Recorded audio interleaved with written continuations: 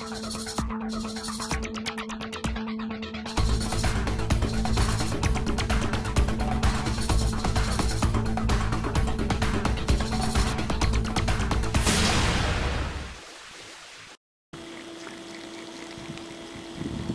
everyone, Dick Beardsley here. Scene. Hey folks, you hear always me talking about fishing weed line fish. Well, that's what we're doing right now. Boy, it feels pretty good fish. Not sure exactly what it is. It's staying hunkering right down there. Nice fish, whatever it is. Well, we're fishing weed lines today, folks, with a jig and a minnow. And when you're fishing the weed lines, it's a multi-species place to catch fish. What do we got here? Let's see. Ooh, nice largemouth bass. Hey, there we go, folks. All right, look at that. Hey, folks, we're fishing the weed lines, jigging a minnow. Oh, you hear me talking about fishing weed line fish, and it's amazing the different types of species you can catch. Nice largemouth bass. I'll be back with more of the fishing scene and fishing the weed lines after this from our sponsor. Hi folks, welcome back. As I said earlier, we're fishing the weed lines today. And now I'm not just talking any type of weed line. The weed line we're using today is a deep water weed line. What I mean by that is, it's an area on the lake where, like say on this particular lake, the weed line ends, oh, at about 17 feet or so. That's how, uh, how far down the light penetrates, so you got weed growth up to that point. Now the way you find a weed line is with your graph or with your flasher unit that also shows you the depth. And by getting on the edge of that weed line in deep water, you can really catch a multi-species of fish. You'll find walleyes, bass, as we just caught, northern pike, crappies, sunfish, perch, just about everything will relate to that deep water weed line. The best weed line is one that breaks sharp into real deep water. That way they can access the deep water for uh, an area that they want to kind of just go and relax and get away from things. They can get up into the weeds where they're going to find bait fish, where they're going to find shade. All kinds of little bugs and insects are relating to that. Where there's those little bugs and insects, there's small little bait fish. Where there's small little bait fish, you're going to find the fish that I just talked about. And which, what we're doing today is just kind of working this edge of this weed line with a small jig. And what we're using here we're using a very small jig, an eighth ounce jig, and we're tipping it with a fathead minnow. And by doing that, you're gonna catch, like I said, a multitude of fish. Now you could put on a leech, you could put on a piece of crawler. The problem with that is that you end up catching a lot of these real small crackerjack size and cracker size sunfish. But by using a minnow, it seems like the fish you catch are gonna be the little bit larger fish and uh, you'll keep some of those smaller sunfish off your line. And we're just working along real slow, just kind of popping that jig, letting it drop back down, popping the jig, and there's one right there. Don't know what it is. Doesn't feel quite as big as that bass did. Let me shut down my trolling motor here. Let's see, it's no northern, I can tell that just by the way it's fighting. Hey, there we go. A nice crappie. How about that, folks? Middle of the summertime. Let me get that crappie in here. Hey, not a bad crappie, huh?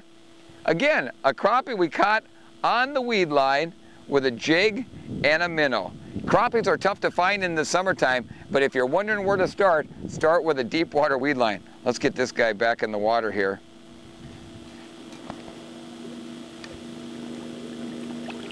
It's an absolutely gorgeous day here, folks. We have clear blue skies, a little bit of an east-southeast wind, which isn't the best wind.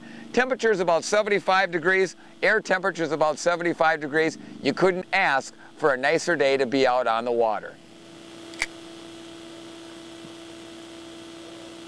There we go. All right. Yeah, another crappie. All right, not a big fish, but hey, not a bad fish either. You know, folks, it's nice to go after one particular species when you're out there on the water, but it's also kind of fun to get out there and not know what you're going to catch for sure. Yeah, nice crappie, huh? Or a speckleback, a lot of people call them that down south, or a crappie. A lot of people call them that too. There he goes. Oh, we'll get baited back up here. And uh, all we're doing is just putting on a small fathead and uh, you know, you can catch all kinds of fish on fatheads. Shiners are nice, but they're kind of tough to get sometimes this time of the year, and they also, they don't last very long in this warmer weather. We're just taking a, a small old fathead or a crappie minnow, and uh, I've caught big northerns on them and bass and all kinds of things. Just hooking it right through the mouth and out the head, pitching it out there, and just stay right along the edge of those weeds. It's pretty simple. Now you do need to have a locator, you know, a depth finder, and once you learn how to read where the weeds are on there, uh, boy, it's, it's like your roadmap to where you want to be out there fishing. And we're just working the jig real slow, right along the edge of those weeds. And the kind of weeds that we're looking at right now down there, there's two, two kinds that are in this particular weed line. There's some cabbage, which is a real broadleaf, broadleaf weed, and there's also coontail, which if you look at a raccoon's tail, they've got those rings around it, it kind of looks like that. Both weeds are very good. Fish relate to those weeds a lot more than they do that real gunky type of stuff. And the nice thing is you can fish through those weeds. Yeah, you're gonna get hung up on them once in a while, but if you just work that jig through those weeds like that, they'll drop and you, if there's nothing more tantalizing to a fish, when you're pulling through some of that cabbage or that coontail, you get yourself loose and that jig starts falling back down. That's a lot of times when you're gonna feel that fish on. Ooh, there we go. Oh yeah, I'm not sure what this one is, but not bad. Oh boy, he's running with her. Tighten my drag up just a little bit. If you want to err on one side or the other, folks, you want to definitely err on the side of having your drag set a little bit too light. Oh yeah, he's running good. It's hunkering down. It feels, it almost feels like a walleye, just the way it's hunkered down there. Haven't, see, haven't seen him yet. Oh, there he, there he comes. Ah, another bass it looks like. Oh yeah, not a bad bass, huh? Oh, they are fun to catch, folks. Oh, come here. When they get underneath the boat like that, you want to hold your rod out and usually what they'll do, that'll pull them back that other direction. Don't even reel when that happens. There we go. All right, not a big bass, but a pound or a pound and a half or so. Come here, buddy. There we go. Hey, nice largemouth bass, huh, folks? Fishing those weed lines. Yeah, it's a dandy. Get that hook out of there. Oh yeah, nice little fat plump one. We'll get him back in the water.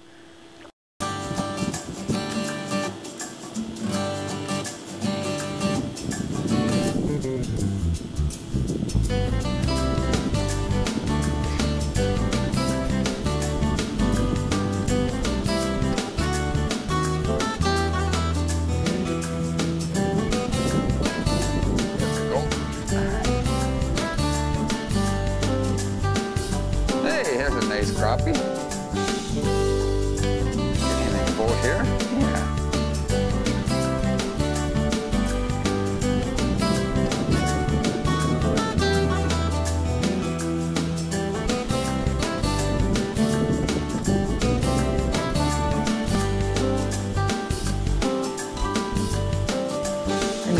Oh, I missed him. God darn it.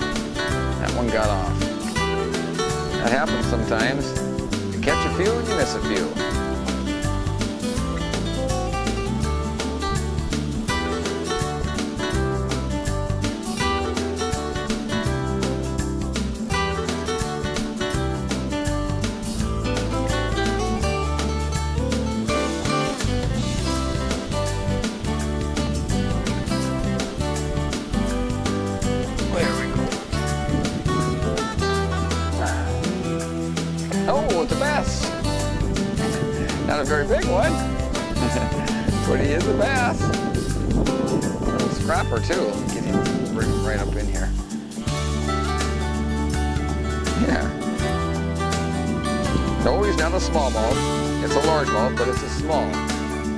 largemouth. See? I'm get him back in the water.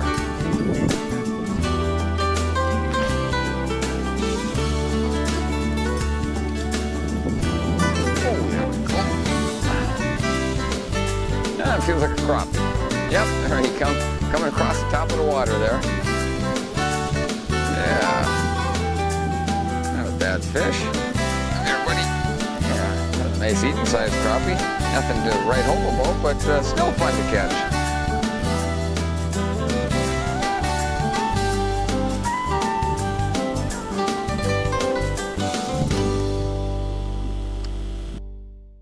Folks, we're out here in the month of August, what they call the dog days of summer. And what that means is the water temperature is at about the highest point it's going to be. The fishing, it can be a little bit tough right now for a couple of reasons. One, there's so many bait fish down there and that can be a problem. You know, they got so much forage to choose from. You ask yourself, well, why would they hit on my bait that I'm using? Well, good question. That's why you, know, you, you use different colored jigs, different sizes, different dressings. You can use plastic tail. You can use different kind of live baits. But it's hard for a fish to pass up a jig and a minnow. And here's the reason why.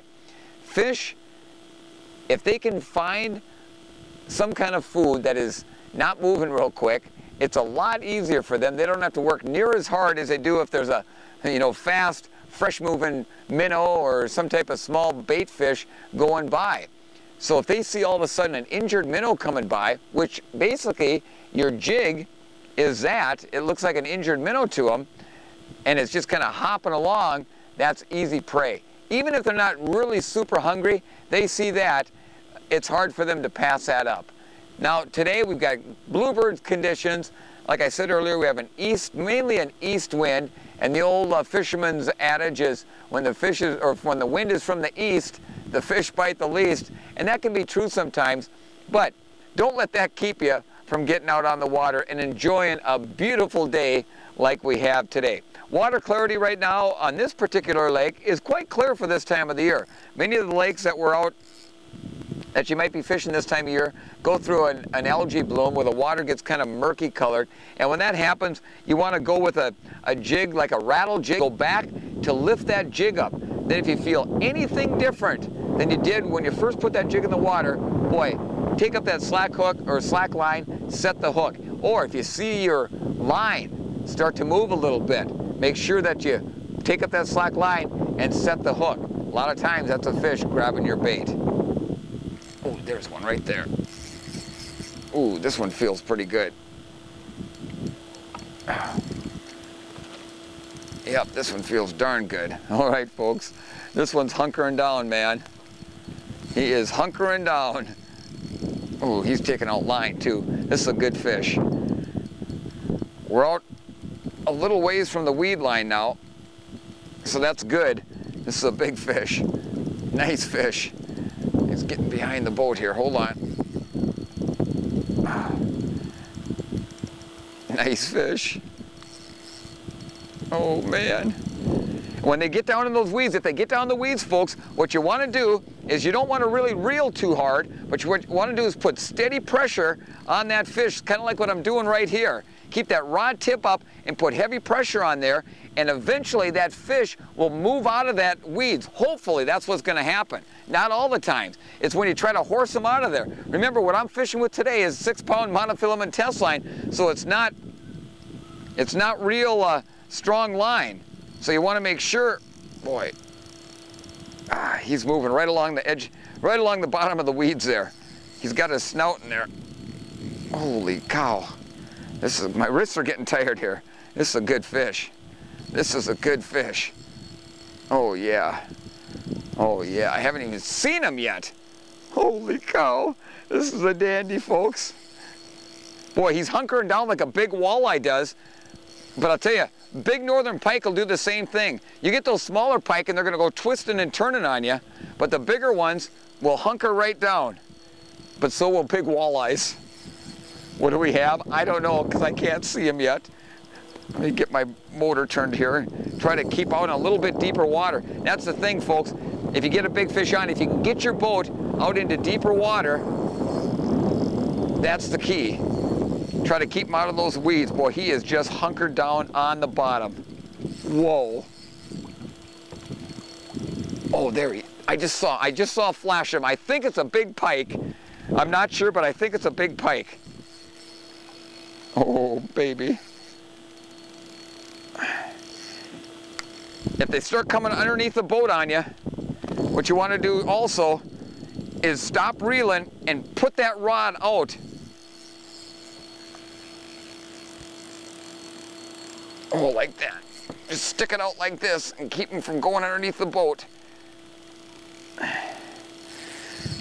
Whew, this is harder than running a marathon. Okay, he's getting up there now. Yeah, it's a big pike. Big pike. Whoa, man, look at this one. I, oh, I can't even get him into the boat. Man, whoa, that jig popped out. Whoa, folks, look at the size of this pike. Man, hold on here, let me get this jig out of the net here. It popped out right when I got him in the net here. Holy smokes. Folks, this is what you call a big northern pike. I don't care where you're at.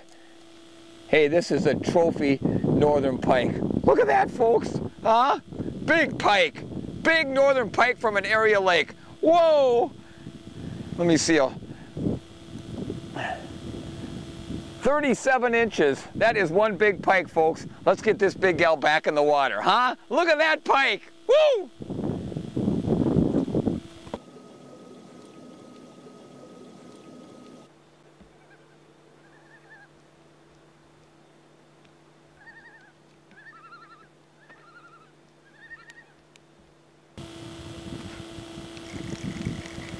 Oh, there we go.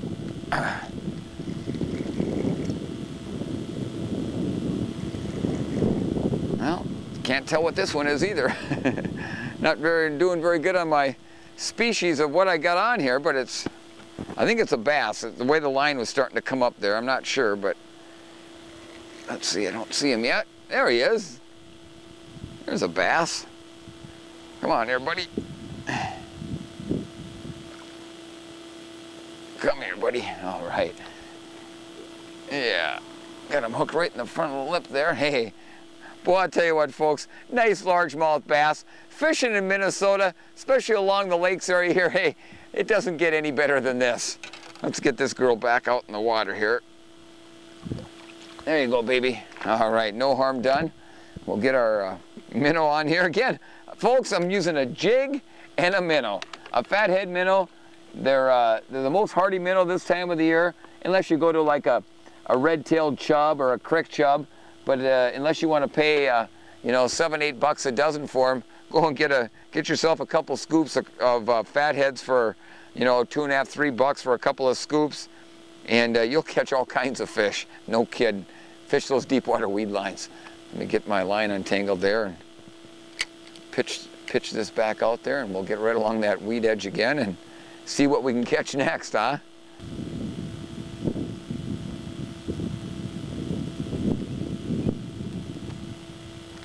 Oh, yeah. Yeah, come on, baby.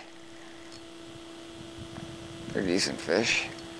Pretty decent fish. What do we got there? Looks like a pike down there. Yep. A northern pike. All right. I could use a net on him, but if I can, I'd like to grab him, the smaller ones behind the back of the head there. Otherwise they have it. Well, he looks like he's about ready to jump. Come here, buddy. There we go. Yeah. All right. Come here, pal. Hey, not a bad pike, huh, folks? Not real big, but boy, they're fun to catch. No doubt about that. They are fun to catch. Careful, though, where you put those fingers. They got a lot of teeth on them. Come here, buddy. There you go. There, all right. There we go.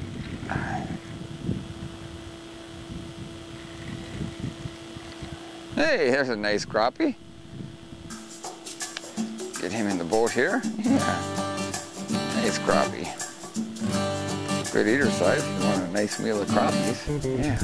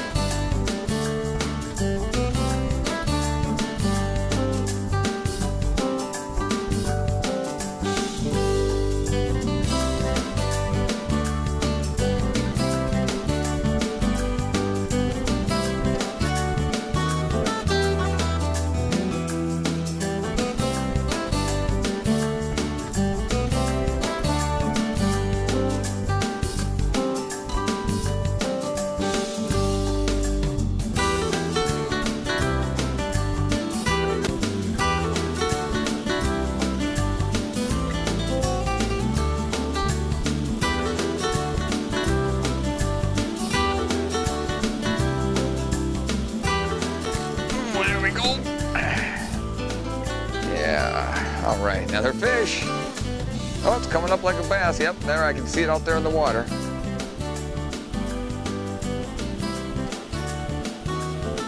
Oh yeah, he's making a few boils there. There we go. Come here, buddy. Reach down and grab him. All right. Hey, folks. How about that, huh?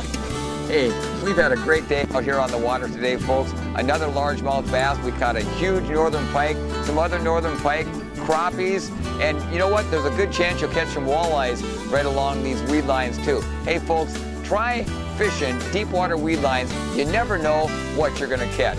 And please remember to practice selective harvesting. By doing so, we'll continue to have great fishing for years to come. I'm Dick Beardsley. Thanks for joining me today on the fishing scene. I'll see you out on the water.